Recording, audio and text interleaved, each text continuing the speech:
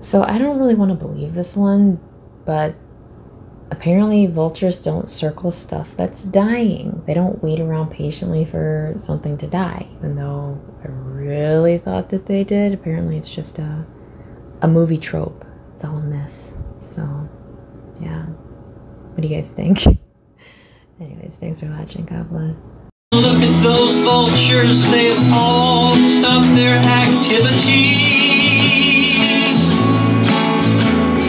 together.